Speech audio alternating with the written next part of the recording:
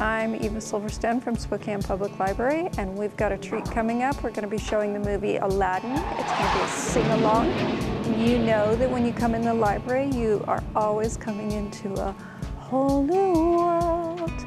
But you can actually sing along to the movie. We're showing that on Saturday, November 29th at 2 o'clock at the Downtown Library.